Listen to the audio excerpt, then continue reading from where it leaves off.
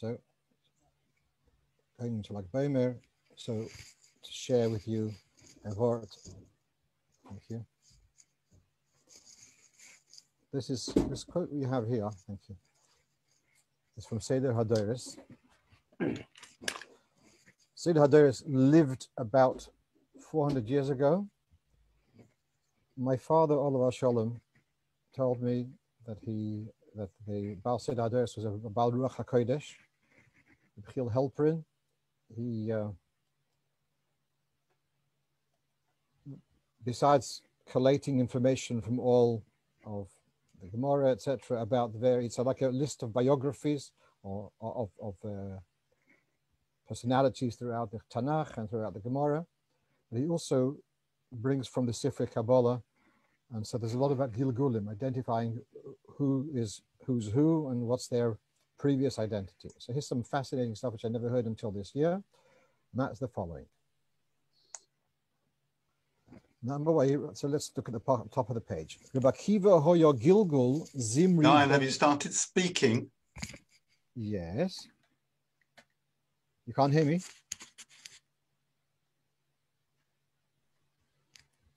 Can't hear? I can hear. I can hear fine.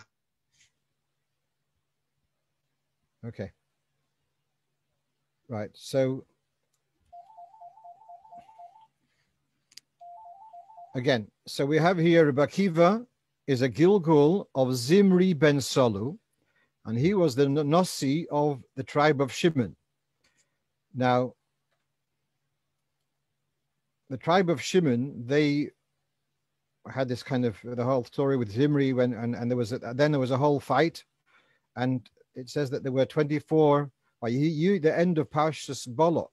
Ayiyu hamesim b'magefo arbo ve'esrim olef. There are 24,000 people who, who fell in the in the attack on, on, on the tribe of Shimon. And we've got here Bakiva, we know the story, with Bakiva he had 24,000 Talmidim, and they all died in the same, in this period, and that's why we got the mourning during Sfiras Shoimer.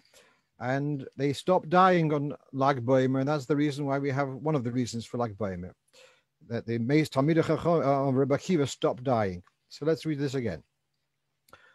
Zimri, Rebbe is a Gilgul of Zimri ben Salu. Zimri ben Salu is from the tribe of Shimon. Shehorag b'Shchem. Now Shimon, as in Shimon the son of Yaakov, they, he and Levi actually, made a massacre in Shechem. Now, Shenoi Moilu, Chof Dalud Aleph. This information is new to me. That the um, the number of people killed in Shechem by that massacre was 24,000 people by Shimon and Levi. But they actually were innocent in a sense because they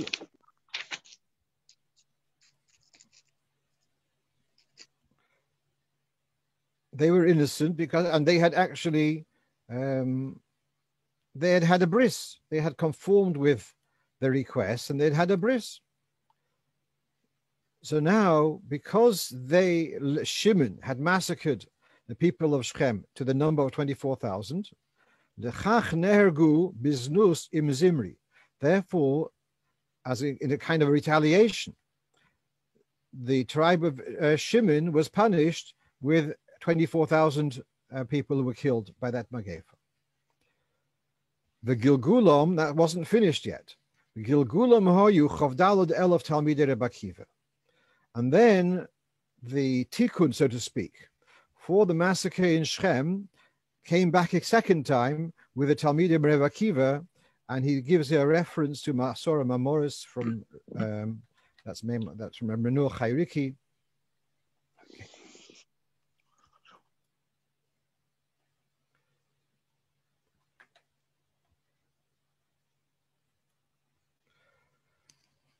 that's that, that's that's one piece of information 24,000 24,000 and that connects um Bakiva to Zimri to Shimon. Then we go a little bit further. The next piece I've skipped a little piece there because for Chesed Avrom Gilgul Nefesh Zimri Hu Rebakiva Hu Tikunoi Rebakiva it came as the neshama of Zimri to rectify what Zimri had, where he had gone wrong. The Kozbi he is evil. Kozbi, who was the shiksa who uh, Zimri was caught with, and she was also killed, she came back in the form of Izebel. And I'm going to skip for a moment the next line. Where do we see, we see that Izebel had an obsession to chase Eliyahu? Why was she obsessed to, to, to, to punish Eliyahu? Because Eliyahu is Pinchas. Pinchas had murdered her, and therefore she was obsessed to take revenge against Eliyahu Pinchas Eliyahu. Meanwhile, Izebel, so Kozbi came back again in the form of Izebel, the wife of, wife of King Achov, and then she came back again. And this time she came back as the wife of Turnus Rufus. And there's a story in Gemara with in of a of Chof where Rabbi Akiva, um, he would often have debates with Turnus Rufus. And Turnus Rufus got very upset that he was always losing the debate. So he came home and he was in a bad mood. And his wife said, What's the problem? So he, so he said that there's this Jewish uh, sage who is always vanquishing me in debates. So she said, Do you give me permission to test his integrity? And she dressed herself up as a Zaina and she went to Rebbe Akiva to try to seduce him to do something immoral with her. Rebbe Akiva obviously wasn't seduced, and when he saw her, he did three things. He cried, he, he spat, he cried, and he laughed. So Mrs. Turnus Rufus says to Rebbe Akiva, what's the meaning of those three reactions? So he says, two I will tell you, one I won't. I spat because you, as any other human for that matter, is born from a tipos rucha, from a, a smelly bit of sperm. So people are proud with their beauty, but after all, what is a human being? It's just coming from a bit of sperm. There's, nothing really to be proud of. I cried because of your your beauty will will uh, decompose in the dust eventually. You'll die and you'll become decomposed in the dust. So that's why he spat and that's why he cried. And then she says, But why did you laugh? Or why did you smile? He says, I told you I'm not going to tell the third thing. Years later, she I don't remember exactly the details why she she she was no longer married to Turnus Rufus, and she was intrigued about Yiddishkeit and she was Megaya. And she then got married to Rebbe Akiva. So that was why Rebbe Akiva smiled because he could see in Ruach HaKodesh that she was destined to get married to him. And when she did, she actually brought with a fortune. And so Rebbe Akiva, in his later years, well, he also had a fortune because of his wife, Rochel was the daughter of Kalba Sabua. That's a separate story. But also, they, she brought a fortune to him. But that's that wasn't Rebbe Akiva's uh, biggest um, excitement. So now, so let's come back. So we got here Kozbi comes back in Izebel, who harasses, who chases uh, Eliyahu Zepinchas, and then comes back in the form of uh, in the form of uh, the wife of Turnus Rufus, and now meets up with Rebbe who is a Gilgul of Zimri, who was her mate in a way, in a sense, in the previous Gilgul, or two, two, two generations back. Now, here comes another interesting twist. We know that Shimon, sorry, we know that Dinah had been abducted by Shechem. Well known that Osnas, who got married to Yosef Hatzadik, she was born from Shechem, and the, the reason why, and although she was uh, brought up in Yaakov's house, but and the name Osnas means Lashon Osoin, which can mean accident or can mean rape, whatever. Oines. So she was from that union. But here he's saying that actually Zimri is also somehow from that lineage, from from Dinah before she got married to Shechem. In other words, Zimri actually had Shechem genes in him. So it makes all the more sense how he was he was in a sense he was trying to um, settle accounts. And uh, then we, we then we, uh, he kind of leads this rebellion as if in the name of the 24,000 people of Shechem who were massacred. So I'm not doesn't no one's suggesting he had that in mind consciously but sub, subconsciously he was leading this rebellion and 24,000 people fell in kind of retribution for the massacre in Shechem then, what does it finish off?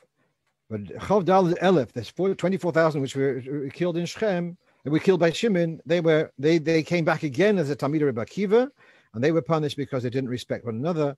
Um, similar, they should have remembered the sin of Shittim, which they and which had they hadn't been cleansed from.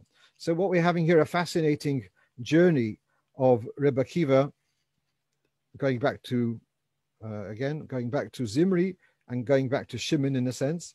And then we've got um, his wife going back to Izel, going back to Kozbi, and the 24,000 kind of has, happens three times over, so to speak. Finally, the, these, the, there's a bit, it's a bit repetitious, and I'll explain to you why, because the Esed Hadoros is drawing from various sources. So the first one was from uh, one source from uh, um, Sarma Morris, and this is from another source from Chesed Lavram. So there's he brings them kind of uh, more or less what they what they say in full. But then the next comment is unrelated to this whole journey, and that is that Rebbe Akiva, his name Akiva relates to the word Oke, which means a heel. Now, when the Yaakov was born, it says that he was seized, he seized onto the heel of Esau. The Yodoi Oichezes Ba'akev Esau. His his hand was holding onto the heel of Esau. So, in a sense, now we know that Rebbe Akiva was originally his, his, his origins were from Gerim. So he had non-Jewish, he had Esau origins. So Yaakov, as he's born, is pulling something away from the heel of Esau, and that's Rebbe Akiva, who is re, kind of redeemed from Esau and brought over into, into Kedusha. And then the next piece he says about the verbs that Rebbe Akiva we see has later, uh, he's uh, um, very much into darshaning verbs and explains that's got to do with this story. Okay, so that's, I think, just, just some fascinating stuff uh, as a Hakdama. Let's go on to the next thing on our list. And that is that someone asked me, that he had seen a some kind of venture, but he had this famous song, Yedid Nefesh, and it said there, now we say. So he asked me, was it, was it just poshet a mistake? So I was, my curiosity was piqued. And so here you have, this what I have over here, I believe is from a uh, Sfardi Siddur called Base Base Oived or Base Menucha. Um, so the Sfardi Nusach actually has V'hoisa loch shivchas olam. And this is from a Chabad Siddur. The lower one is from a Chabad Siddur. V'hoisa lo simchas olam. Now the is the, was that a misprint? No, no, no, no. It's not a misprint. Let's let's let's explain. So this goes back to the one who composed this song.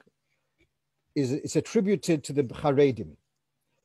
That is Rebbe Azkari or, Zak, or who was a, a contemporary of the Arizal. He lived in Sfas at the time. And this is attributed to him, although there's those who say originally it had five stanzas, and the extra stanza had was a dalad, and therefore it had the name Yehuda. Then later it was the dalad stanza was taken away, and it's left with the Rosh of Yud Vav. And that's the way it is in most uh, prints. But then the, in the first print of the Charedim, which I didn't manage to look inside, although I have it on the on the on the uh, Oitzer. I couldn't find it there. The first print it said "V'hoisalo shivchas olam," and so the printer didn't understand what does it mean "V'hoisalo shivchas olam." It should be a a, a, a, a, a she shall become an eternal uh, maidservant. So he changed it to "V'hoisalo simchas olam." And then a later print, it was then corrected. It shows "V'hoisaloch shivchas olam." So here we have that was talking about the love of the neshama to Hashem. Rafon Allah, heal the neshama, and show it your, your glory, your beauty, and it will the neshama will be bound to you, will be committed to you. But so that's the that seems to be the original form. However, the Ashkenazi form has has evolved to simchas olam that the simchas olam that the neshama by having this joy of getting close to the Eberster, simchas olam and have this tremendous uh, this an eternal joy. So they're, they're, they're both they're both nuschois. What's the pshat if you say shivchas? That the neshama will be committed, as if we asked to Evet Ne'emon, Evet Poshut, eternally committed. That's that's the uh, that's the pshat. Okay, let's go on. So this is not so much halacha. Let's get to halacha. So having discussed in the previous weeks uh, about croutons, and I mentioned last week that the definition of the broch on the croutons will be, uh, if they're deep fried, is mezainis, because even though it retains the what we call torisa de nama, it still has the constitution of bread, but because because it's been cut down to smaller than a kazayas, and now it's in a uh, and, and it's been cooked, so then it goes down to mezainis. So deep fried croutons are mezainis. Okay, good. So someone asked me, what about matzah? What's the what's the what's the bracha on matzah? So let's read here. This is again from the Alter Rebbe Seder Birchas Hanenin, and what you have at the bottom is from Reb Avrom Alashvili. He's a brilliant uh, Talmud Chochem and lives in Lud, and has published numerous for him. But one of his masterpieces has been the uh, presentation of Seder Birchas Hanenin, and uh, to the back of the volume you have a tavla, a table of a list of all foods and brachas, uh, the appropriate brachas. So I'm going to first read actually his table. Lechem pira lepirurim chusim v'leholacht mehem lechem. Took bread, broke it into small pieces, less than a kazayis, mixed them in a liquid, you fried them, but it hasn't lost the appearance of bread. So he says, Lo yochel elo It's a sofik, but it's mezonus mahamotzi, and therefore he's saying that you should you should only eat it during a meal. You can't make mezonus on it, you can't make hamotzi on it because of a sofik. So now let's learn the halacha properly. So sif tesvav. Lechem pchusim mikazais. If you've got crumbs of bread, which are less than a kazais,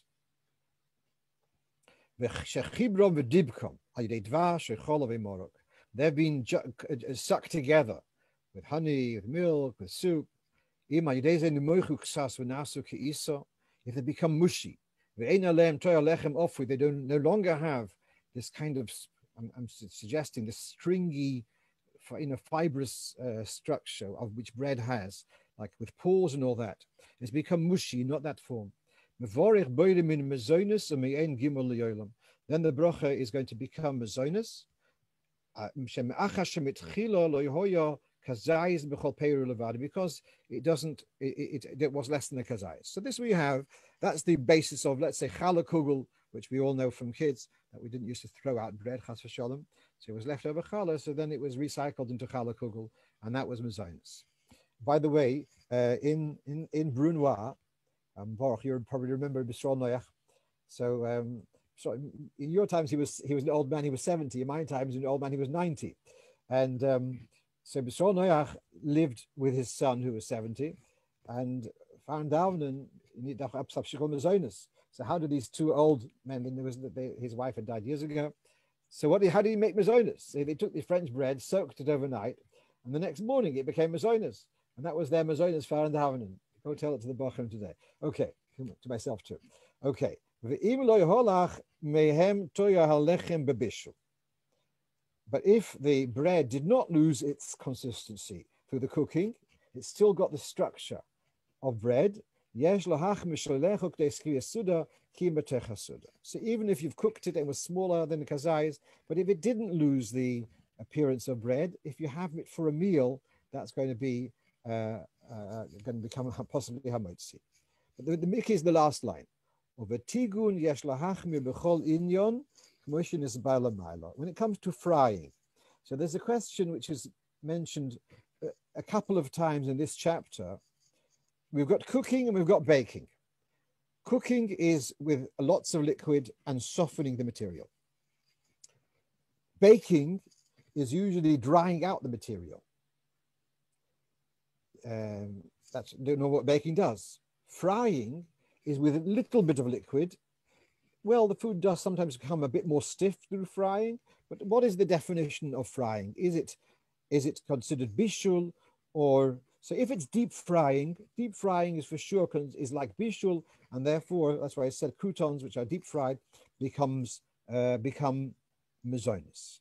But if it's just like matzah you just got uh, you break the matzah into small pieces, uh, and then you fry it with a little bit of liquid, a little bit of oil, uh, even though it's a millimeter or two, but it's not it's not a lot. It's not deep fried. So then he says, so we're going, we're going to be stuck when it comes to frying. Is it called cooking? And therefore it's made the matzah brei into mazonis. Is it called, is it similar to baking? And therefore the matzah still remains hamotzi. And that's why Rabbi Alashvili is telling us, because he says you should be machmer on both sides, so matzah brei remains sofik. And therefore you'd only have matzah brei during the meal. Okay. Dayan, what do you mean by during a meal? Does that mean if you only ate that as your main uh, course, you would wash over it? That, that, that even then it's a shaila because because if you say it's called mevushal, then it's it's gone down to mezonis, and that's what he said before. If it actually lost its what he said over here, even if you ate a lot of it, even kaver suda, it still remains mezonis. When you mush the challah, it becomes mezonis gomer, even if you're kaver suda. When it doesn't lose its toyalechem, then he's saying we're not sure whether it becomes mezonis gomer or becomes, or in other words, mezonis gomer is not upgradable to hamotzi. Like pasta can't be makam hamotzi. Whereas if it's somewhere in between, then it can be upgraded. And what he's saying here, we're not sure whether when it's not been really mushed still left its toya lechem, whether it's going to be can become mazonis or it's going to remain a mahamait. It, remains a sofik. So there we go. So the matzah brei means means it remains. Um, that, that, so, so what he's saying, b'chol inyan, b'chol inyan, whether it, if you have a shiur suda or even less, either way you're saying if it's tigun again, sorry, yeah, but so but tigun yesh lahachmi, I can't make my mind up whether this has become a, a or is it still hamotzi. Okay, let's move on. So someone asked me this week, a shaila, um, that his optometrist has told him that he can see some kind of development and it might develop into a cataract, but a way to discourage that developing, wearing sunglasses will help him um, not have to have a cataract uh, operation um, in the next few years. So now he's asking about wearing sunglasses on Shabbos in the street. So the the the, the, the we've got on we actually we learned this came up because we're learning Siman Shi and Aleph on Shabbos afternoon, and we've got things which are garments which we're allowed to wear on Shabbos, obviously in the street. We are allowed to wear tachshitim, uh, ornaments, jewelry, we're also allowed to wear other accessories, which are making our, our ability to function better. That seems to be the, the, the definition of glasses. Glasses enables you to, to function better. It's not that you're carrying the glasses because you need them somewhere else. They are and managing, they're enabling you to manage your life better as you are. That seems to be the basis of, of uh, wearing, uh, the permission to wear glasses on Shabbos. I know that my uncle David Raskin Shalom, for years he didn't wear glasses on Shabbos in the street. And then the Rebbe once in a sikha, kind of in a comment in passing, said, explain why, uh, that, that's why you're allowed to wear glasses in the street on Shabbos. So from then on, he uh, changed, he started wearing his glasses. But I, I don't know whether he did a Hatosh Nadarim or not. I never asked him. Okay, let's read now what it says here in Shmir Shabbos Gilchasa. Mishkevei Shemesh Regilim. She'odom markiv kedei la'agein al einav mepgias karnei hashemesh. Regular sunglasses which is not prescription ones, which are just to protect from the sun rays. Ein latzes bahem rishus harabim. One shouldn't wear them in the street. ובכלל זה משקבי שמש שמרכיבים אויסום על גבי משקפיים רגילים, included are if you're wearing the, the sunglasses on top of regular glasses.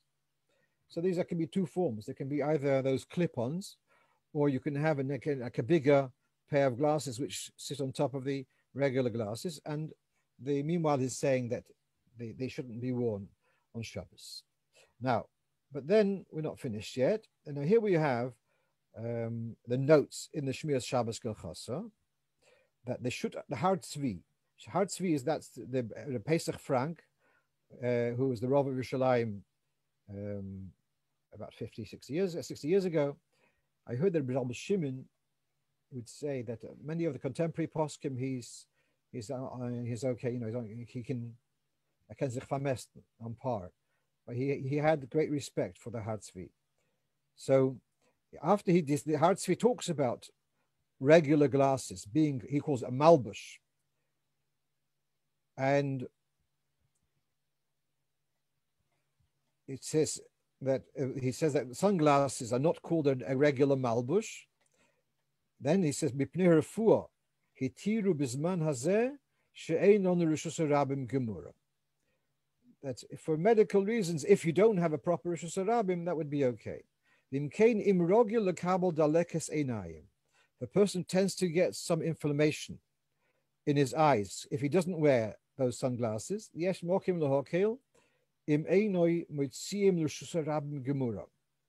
If it's not a proper Rishus then one can be lenient with wearing um, sunglasses to protect uh, from inflammation. And should be careful not to take them off in uh, when, when it comes sh- in shade, obviously, that is going to be carrying a Shabbos. So there seems to be, where there is a Rosh Hashanah there seems to be a, a, uh, a worry about wearing um, sunglasses.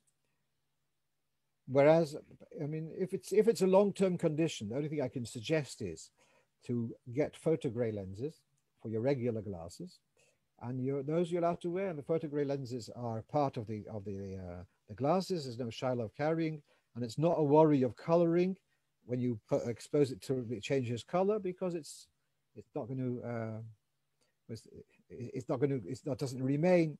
So that's that that would be uh, if that's a, if it's a, it's a long term condition that would be a, a, a solution. Okay, right. Another topic totally. I got a question from a boy. I don't, don't know who, who he is, but he sent me this question that we have this idea of of uh, the Alter Rebbe talks about a, a, blanket having four corners, so it's a question of tzitzis. So the Alter Rebbe recommends to cut off the corner of the of the blanket. Now, the only ones I've seen who do this is Bochrim and Yeshiva, and usually it's the Yeshiva blankets. But the reason why I haven't seen anywhere else is because it's only in the yeshiva that I go around in the dormitory I would see that. I wouldn't see other people's their blankets in their bedrooms, but um, it's not so well known. Um, if you are going to be machmir, don't do it to a quilt full of full of feathers, unless you want to do hafotza. So now, this, this is the Alter Rebbe's lashon. This is in the Siddur. Hamichse shekoirin koldre. The koldre is that was brought up with that word. A blanket is, is a boy beyoyim a blanket which is worn when you sleep during the day, even though it's designated for night. Yes, lastus boy keren echod agula. You should make a, a, a corner, a round corner, lepotre mitzitzis, to make it exempt from tzitzis. No, so why are people not doing this? So look, let's read those words very carefully. The Alter Rebbe is saying, he's not talking about a regular blanket. If you have a seder of sleeping by day, and you have this blanket with which you use for sleeping by day, then it becomes a beged yoim, and therefore it's chayiv tzitzis. But if you're not used to sleeping by day, the Alter Rebbe is not talking about your blanket. He's talking about a blanket which you'll sometimes use by day. Now, if you're doubting this pshat, so then here I've got here the Sefer El Yorabo. He quotes here the Mogen Avrom. El Yorabo is a commentary on the Levush. Of Elia Shapira, it's got El Yorabo, El Yazuta too, a short commentary, a long commentary. So it's in the it's built it's in the uh, Sefer Halavush, the new edition. It's got there on the page. So he writes like this. Morgan of Rome says that if you have a, a woolen, if you have a woolen um, sheet, you should make a round corner. Shuv matzosi begilion shulchan aruch.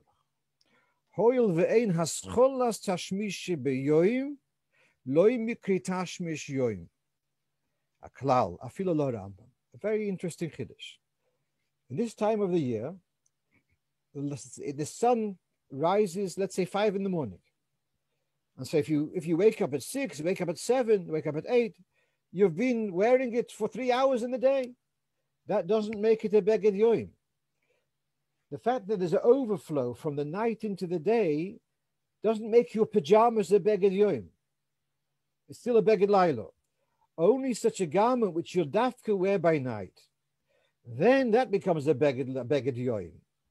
Sorry, that, you'll dafka wear by day. That makes it a beged yoim. That explains um, that explains why most of our blankets. When do when do you go when do you go to sleep during the day? Unless you're you know people get a bit older, they sometimes have to rest during the day. They rest with a blanket, without a blanket, but that that seems to be a strong basis why people are worried because it's only talking about a ba- a blanket u- used for day, day uh, a dress during the day. I'm going to finish off this piece. I want to read something serious and then I can tell you, I'll tell you a, a funny thing. And that is, this is a letter of the Frierdiker Rebbe, and he's at the time he is he was born Tofresh Mem, so he's 36, and he's he's with his father in Rostov, and he says, "Niflei, I cannot restrain myself to see the pure God fearingness of my father." when my father has a haircut with a special machine, sometimes I do the haircut for him.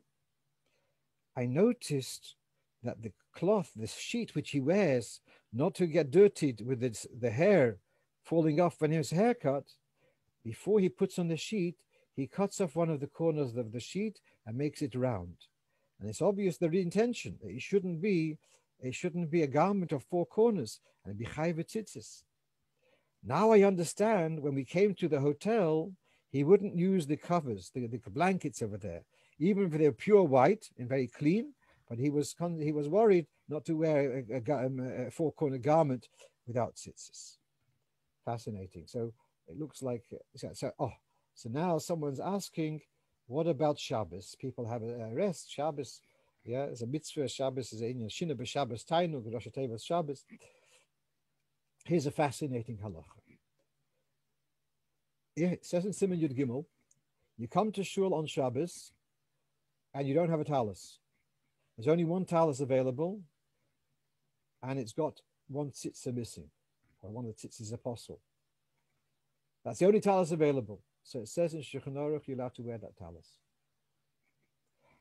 And the reason is because, listen carefully, mitzvahs tzitzis, this is from the Mordche and the Menachos, mitzvahs tzitzis is not like shatnez.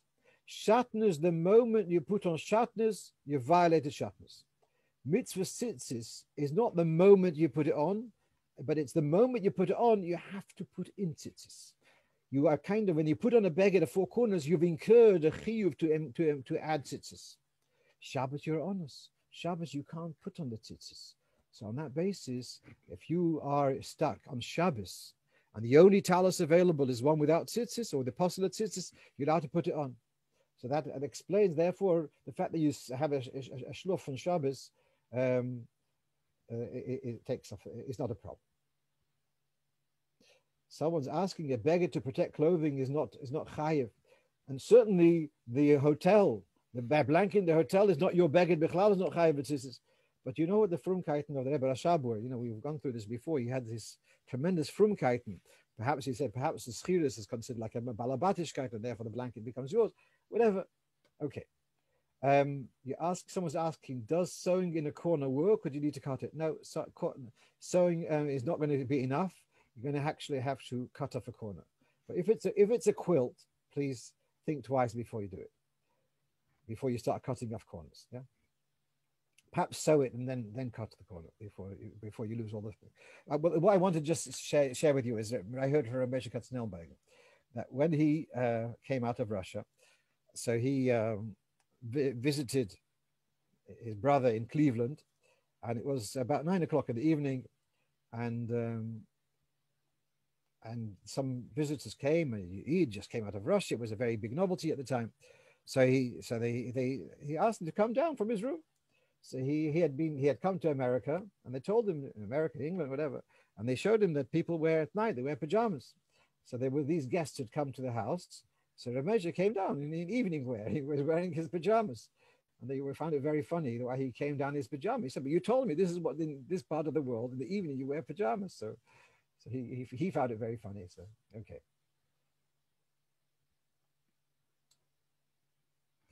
Right. So someone's asking a question. If you see someone wearing postel tzitzis on Shabbos in the street, that's like a, another question, which is a, a big shiloh. Okay.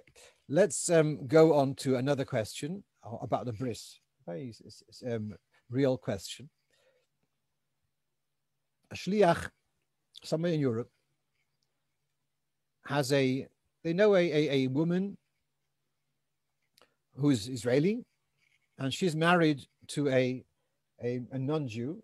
He's, he's one of these Russians who came to Israel and never was, there was never Megayer. So he's uh, Goyla Mahadrin. And uh, they had a baby. And it's been five years since they've, uh, since the baby, the baby's now five years old. They never had a bris finally now they've agreed they've agreed to give the child a bris, but they're going to go to a goyish, they're going to go to a surgeon, a goyish surgeon. Then they asked the shliach, they asked him, would you be so kind to come along to the to the operator, to the operation, to this by the procedure, and you'll be there. So he's asking, is there is there any value in him going there? And there's one side of it is, is there any value?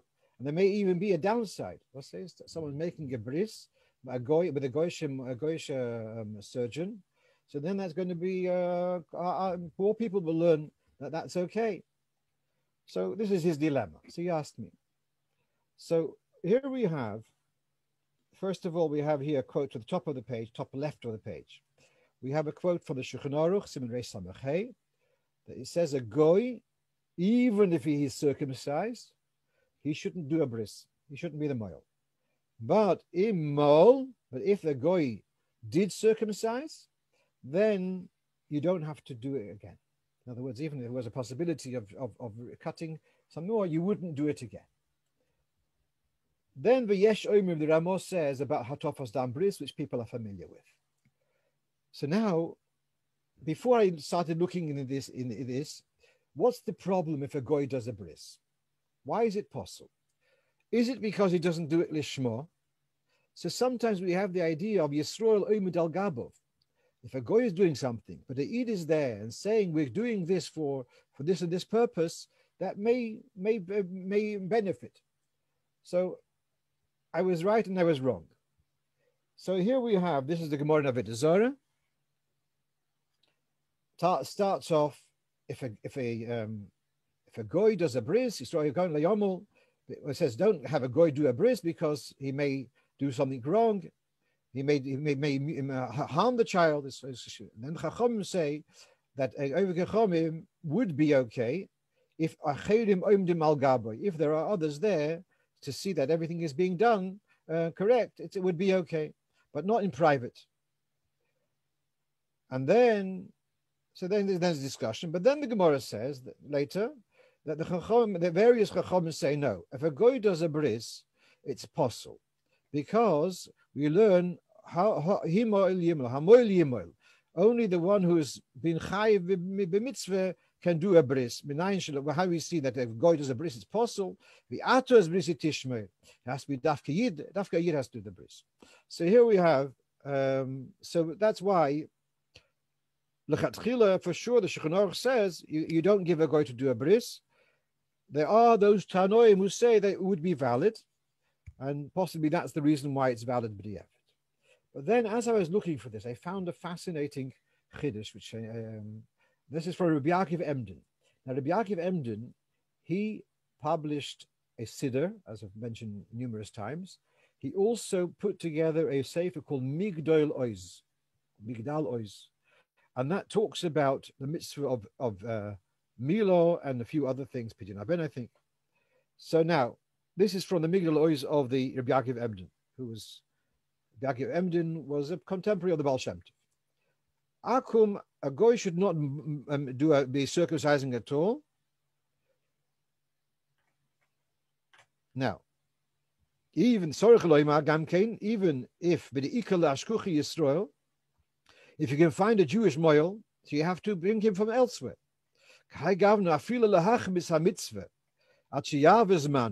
Even if it means a delay of the mitzvah, past the time. If you are anticipating that a Jewish moil will come, then you have to delay the bris until you get a Jewish moil. But if you are in a situation that you don't expect ever a Jewish moil to come your way, odif, it's better to use a goy milhania chayelad or regameli. Fascinating psak. If you are in a situation where you can be people in some deserted places, no moil, and there's no no no travel, etc. Uh, no, no, not expecting any moil to come their way. So Rabbi Yaakov Emden says, have a go do the, do the circumcision. Now, coming back to this, so therefore, if the goy is now looking at this situation, the child hasn't had a bris for five years. Now they finally agreed only with the goyish surgeon. So there is there is something to be gained. If he is going to be there, it's going to be Omendal Gabov. If he's if he's can persuade the surgeon to allow him to use the knife to do the actual chituch or part of the chituch, it will be done al Yisrael. So there is, I feel there is uh, what to be gained by him being there. Um, and then the repercussions, other people will say, aha, he did had a goy to do the bris. So he could say that he could tell people that I the, the surgeon allowed to do him allowed him to do something, and I, I can't tell you what he allowed me to do. In this way, they don't. It becomes you know, private information, but he, he was there, and it would he they made it as kosher as possible. That's that's my feeling in this in the given situation after I looked into this, I just saw on one of the um, websites that there is um, in Hong Kong at the moment, they have a very serious problem that they children have been born, boys have been born, and because of lockdown, etc., and quarantine, there's no um, in the foreseeable future, near future, I don't see um, any Moelim coming, but that, I don't think that would fall into the category of Rabbi Emden because there, you know, lockdown's not going to be forever. So there's going to be a possibility of a moil coming. So therefore, they're going to have to delay until such time. Whereas um, uh, in this case, it's like it was so uh, open-ended that I think there's more reason to be makel. I tell you to recognize. Let's. Um, well, then we have here a question. A, a fellow uh, is actually a shliach, and he lent. He had a building fund, and the money was just sitting there. So he lent it to another shliach and then the now he's ready to go ahead with his building, and this, the borrower has been defaulting and not paying. Uh, it was a six-month loan. It's been a couple of years, and it's really so. He's now the the, the lender is asking me. He's very uh, very guy, and he says it says in the Torah, you shouldn't oppress your borrower. And I'm worried what happens if I have um, uh, you know I've, I've perhaps over, overestimated the ability of my borrower. Perhaps he can't pay. By forcing him to pay, I'm doing something very wrong by, by forcing him. So what should I do about that? So I dug up this from the Alter Rebbe Shulchan Aruch. It talks about uh, the, the issue of demanding. So that's the sif base.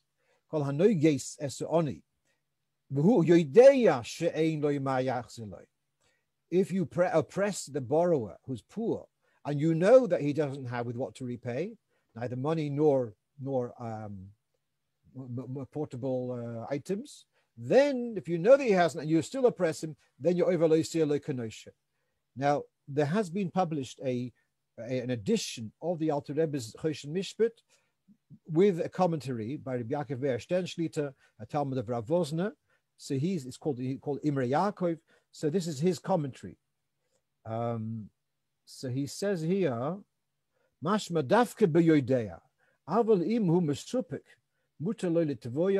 If you're not sure, then you are allowed to demand. The Torah did it like ostra boze. You're not expected to know the other person's private accounts. And therefore, if you're going to say you can't because he might not have the money, then you're, you're going to be saying that people can't demand their debts to be repaid. And therefore, he says in the third line, he says, the issue is only if you know for a fact that the borrower doesn't have any money, then it's wrong to oppress. But if he if he may have the money, so then you are allowed to oppress, and uh, I hope he will uh, take that and um, push for his thing, and he should be able to get the money back. The fellow can borrow from another another source, and um, he should be able to go go ahead with his building plan as uh, you know, for what the money was raised. Finally, this is a question which I arrived today, which um, I find a very big chiddush actually. And Geman from uh, he's, he's, a shliach in Germany. He said, I, I, I, bought a box of Israeli figs, and I want to give them as a gift to a goy. Is that okay?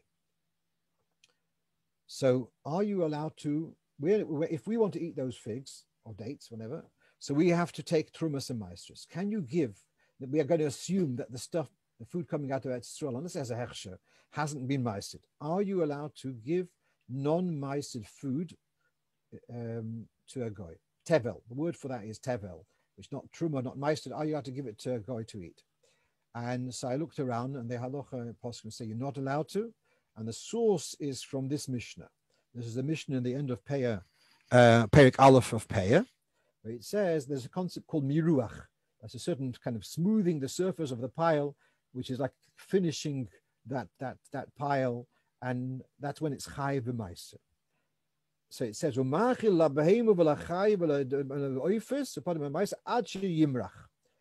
until the moment of meruach, which is, in other words, it's premature for meiser. Then you can feed to an animal. But once you've done meruach, once you've actually finished the the uh, harvest and, and, and, the pile and you've smoothed it, so then you wouldn't able to be behema. And the same thing, you wouldn't be a machal nochri. So in other words, what we're seeing here is that the consumption of food without trumas and is being done, even though it's not for a bar it still remains also to do it. And therefore, this becomes now actually though a very big surprise for me because then if you were a, a Jewish grocer and you sell Israeli a greengrocer and you have Israeli um, product produce, you wouldn't be allowed to sell it to a Goyish customer because you're going to be releasing stuff um, without with, which is chayiv and it's not going to be meised, which seems to be a big kiddush for me. But be that as it may. Meanwhile, I wish you all a feilche like boimer, kedayu here b'shimon lismech alov, and we should we get out of this dachak, out of this pandemic, and out of this golus, and go to the geula amitas v'ashlemo simchas olam al reishon. Amen. Amen. Good Shabbos. Good Shabbos. Oh, uh. yeah. Sure. Thank you very much. Thank you. Oh, oh